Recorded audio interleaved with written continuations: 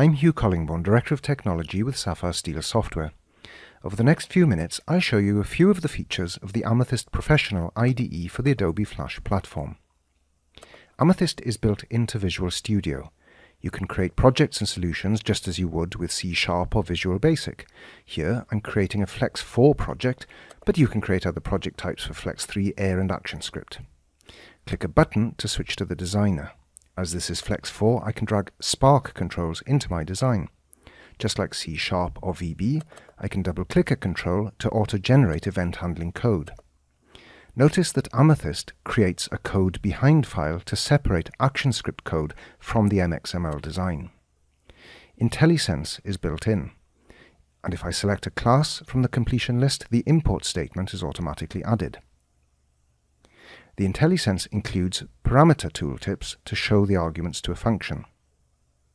And when you are ready to run or debug, you can do so in a browser or in the Flash player. Here, I'll press Ctrl F5 to run in the Flash player. Let's take a closer look at the Amethyst Designer. This lets me drag and drop Flex controls from the toolbox. And when I move them, they may auto-snap to the grid or to alignment bars. Now controls are live, so when I move or resize them I can see all the changes I make as I make them.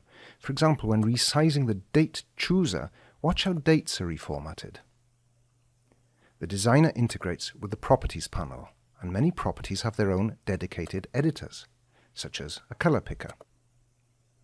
Now here I'm going to set the gradient colors for the application itself. Pop up the color picker, choose my colors, click OK.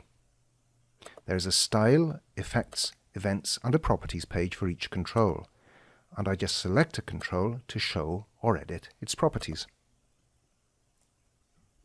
The code editor has code folding and extensive code coloring. There are 76 coloring options in addition to the Visual Studio standard colors. Amethyst Professional also has built-in code formatting, you can change indenting, for example, of code blocks and case statements, have opening curly braces kept on the same line or put onto new lines, and you can select various spacing options. Formatting can be configured to taste.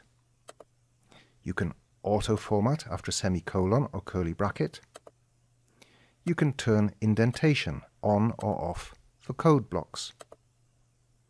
You can toggle new lines after opening braces, and so on. And you can put spaces before or after brackets, colons and operators. And you can also set wrapping options so that you can keep multiple statements on a single line if that's how you like your code formatted. Amethyst can refactor your code by changing parameters, moving a class into a new package, renaming identifiers and more. Here I'll rename this class. So I enter the new name and now I can preview the renaming to see what changes will be made across all the files where that class is referenced. And when I click Apply, all references to my class will use the new name. Amethyst can work alongside other IDEs and editors.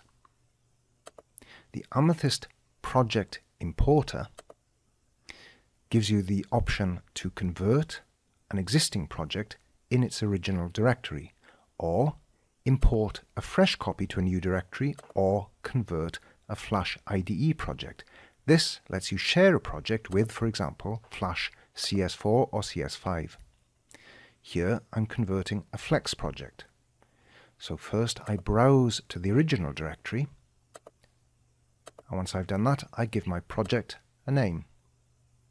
The original code won't be changed by the converter. And now I can tailor conversion parameters in this final screen and then click Finish. The importer will prompt me to select the main file. I do that in the Solution Explorer. And now I'm ready to continue development. If this project had been created in Flash or in Flex Builder, the project could now be edited and debugged in both Flash Builder and in Amethyst.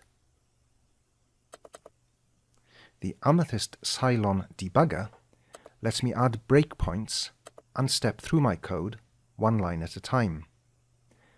I can drill down into objects just by hovering over an identifier in the editor.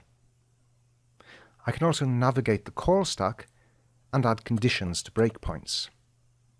And variables can be dragged out of the editor into the watch window. There are other debugging windows too to let me view locals and evaluate expressions.